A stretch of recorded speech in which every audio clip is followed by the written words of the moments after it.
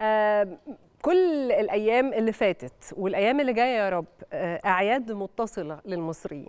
هو شهر رمضان المبارك بطبيعة الحال 30 يوم متواصلة من الأعياد والمناسبات واللقاءات بتمتد لتكتمل بعيد الفطر المبارك وإحنا في الأيام الجميلة اللي بنستقبل فيها عيد الفطر المبارك بنحتفل فيها بأعياد. في تغيرات كتير السنة دي حاصلة على المستوى الإيجابي أو بشكل إيجابي كبير جدا من أهمها وأكبرها وأفضلها يمكن بالنسبة لناس كتير هو عودة الحياة الاجتماعية لشكل أقرب بكتير للطبيعي.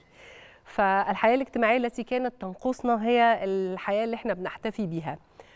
ويمكن آه، كانت واحدة من التفاصيل المبهجة جدا السنة دي عودة لقاء الناس. عشان كده عيد الفطر المبارك جاي في جو لطيف ووقت حلو والناس مبسوطة. يا رب يكون آه، بالخير علينا كلنا برغم كل التحديات آه، برغم كل الظروف والمتغيرات اللي إحنا قادرين نتأقلم معاها ونتعامل معاها بشكل كبير. يا رب عيد خير علينا كلنا.